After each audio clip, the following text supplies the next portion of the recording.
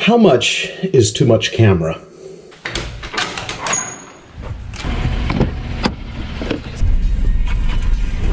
So we're here at the Capital Factory. We're going to be uh, meeting with a company called Carable. They are a website that essentially uh, helps facilitate person-to-person car sales. Um, that's about all I know. Is going to be my first time to meet with Carable. Chris has met with them before, but we'll get the pitch, hear what it's all about, see what they're looking to do. I was so excited to ride these around town. Fall, like, and fall lasted like three days.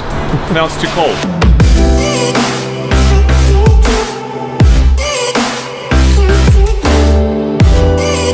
My kids are going to love coming to the office.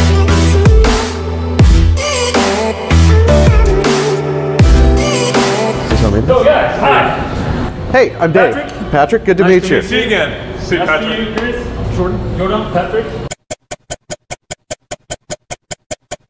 I, I'm uh, I'm happy. Thank you. Yep. Thank you guys. And now it's time for lunch.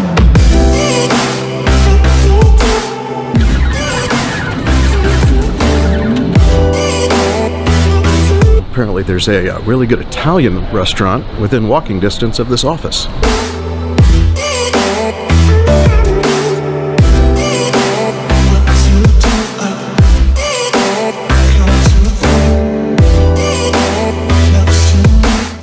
Right, what do you think? About lunch? I don't know. What do you think about this guy? Um, it seems like he's got a lot going on, right? So this is the only thing that he's doing.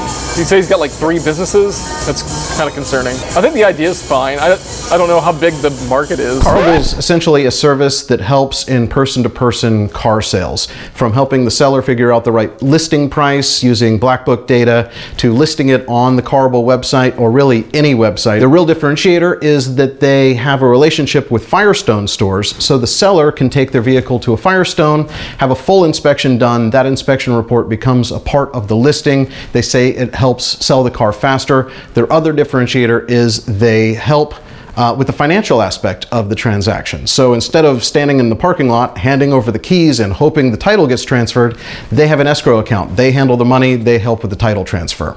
Yeah, that's the biggest question is are how many people are selling their cars peer to peer versus trading them in? To me, trading in your car makes sense because you get the sales tax credit and it's easy. I'm so sorry, guys. I have bad news. They are out of the meatballs. I am so sorry. Can I do uh, pepperoni jalapeno lunch size pizza? Oh, on my on my pepperoni, can you have them go light on the pepperonis?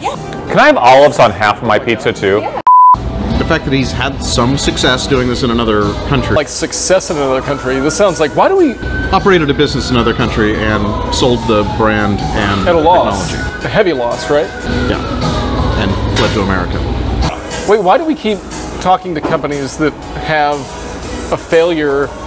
Well, Because they're here trying, they're here trying to find success. I just think it's funny that we've got, you know, just multiple automotive companies that have not shown traction outside the U.S. enough enough traction, and then are trying it here.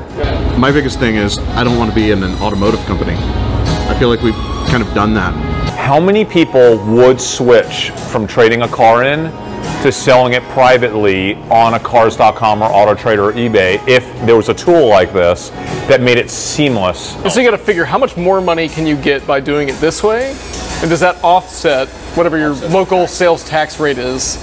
And the $500 extra you have to charge. So, right. But I feel we owe it to ourselves and to him to make an intro, at least to bring Lynn in. Absolutely. No, Lynn needs to talk to him. Lynn would be fantastic at like vetting this as a concept and Sorry for the meatballs I gave to you for this. Oh, it's so nice oh, to you. Okay. Oh, I had the meatballs last week.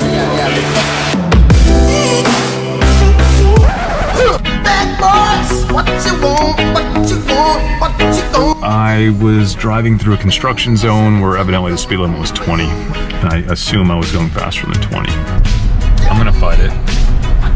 If he wins, that's fine. But that's an expensive